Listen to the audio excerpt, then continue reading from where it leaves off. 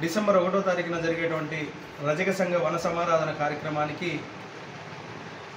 ఈ రోజున ఖమ్మం జిల్లా రజక సంఘ నాయకులు కాంగ్రెస్ పార్టీ జిల్లా నాయకులు పంతంగి వెంకటేశ్వర్లు గారిని ఆహ్వానిస్తూ మేము వారి ఇంటి దగ్గరికి రావడం జరిగింది.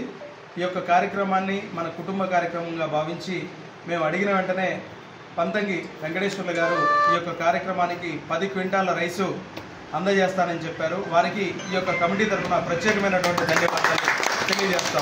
జై రజిక జై రజిక. అన్ననే ఒక మాట మాట్లాడాలి